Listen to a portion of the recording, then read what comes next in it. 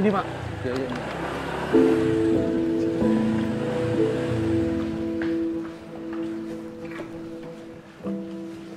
Sebentar mas.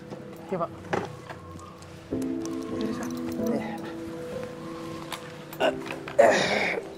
Ya, sekarang Risa ikut papa dulu sebentar ya. Gak mau, Risa mau jajan.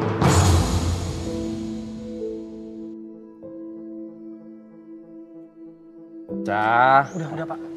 Udah biarin. Risa sama saya aja. Bapak masuknya ke dalam pak. Sebentar mas ya. Iya. Assalamualaikum. Man. Risa. Mau ikut om nggak ke warung?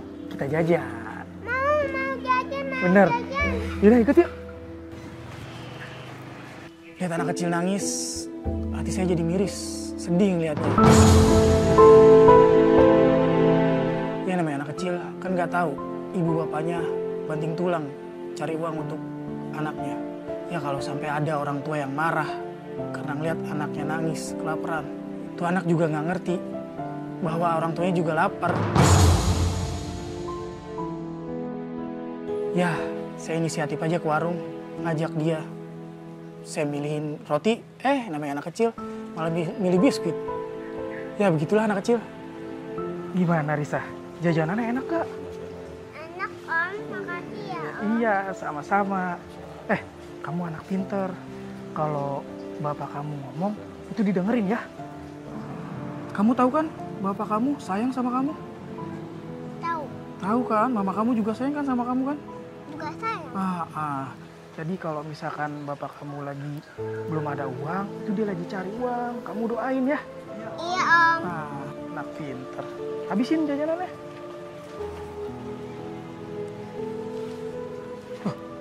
Gimana pak?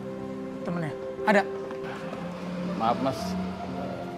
Gimana? Saya ngomong ya? Temen saya nggak ada mas.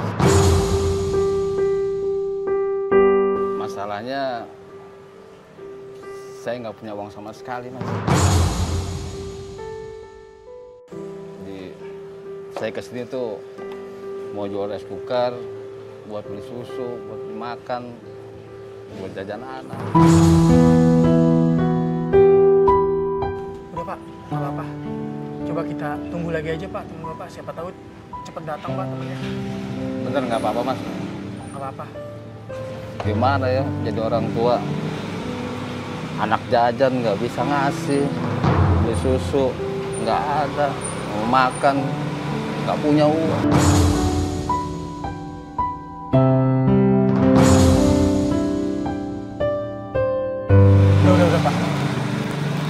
Saya pernah, Pak, ada di posisi Bapak.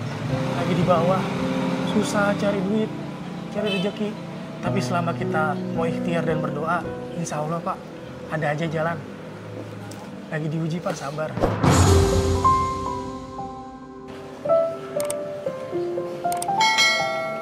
Coba, Pak, temuin temennya lagi. Siapa tahu nggak lama. Makasih sorry nih, kamu jangan nunggu lama. Gimana jadi nggak?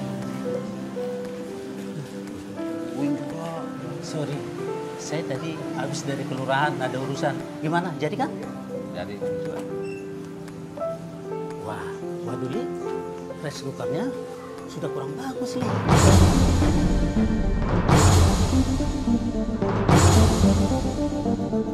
Gimana nih?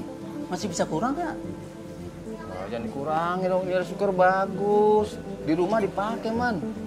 Ya, ya udah. Sebenarnya Li, ini rice cooker bukan buat saya, tapi buat saudara saya yang mau dagang.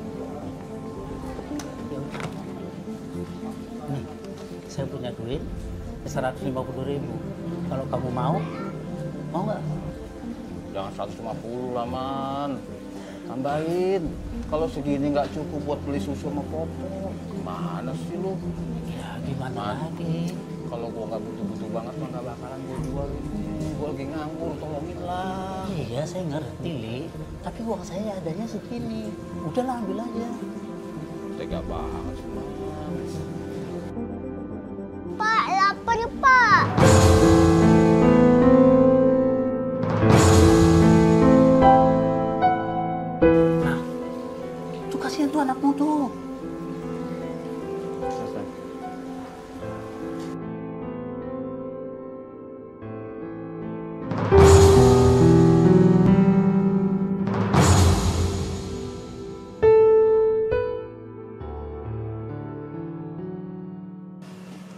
Ambil aja. Gua ambil deh bang. Ya, Makasih ya. ya sama-sama.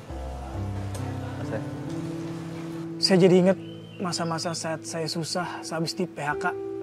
Cari kerja sana sini, uangnya cuma habis buat di ongkos doang.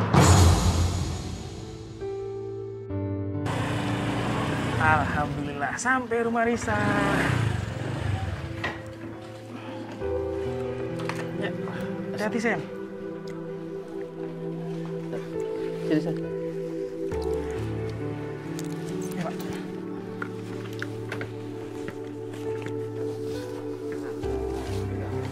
Ini ongkos mas. Aduh, Pak. Udah, Pak. Gak usah, gak usah.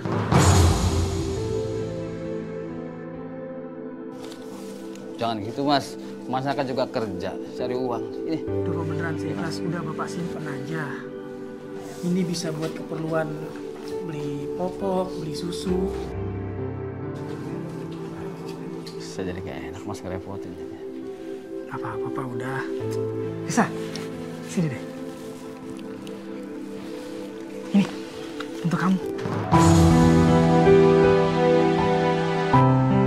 Mas, mas, nggak usah lagi begitu mas.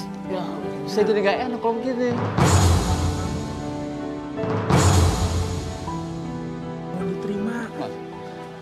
Saya udah terima kasih banget. Masa nggak mau dibayar? Pak, Kalau begini ya, saya nggak bagaimana, bagaimana saya mau balas budinya nggak bisa saya. Jangan, Pak. mas, nggak usah. Pak, udah nggak apa-apa. Bapak lebih membutuhkan uang ini. Saya tahu Pak, susu tuh sekotak nggak cukup Pak buat lima hari. Bisa, ambillah buat jajan kamu.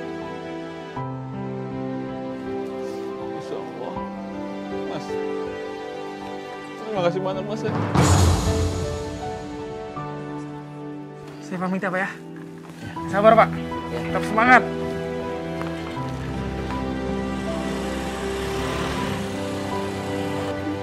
Ya Allah, ternyata masih banyak orang baik.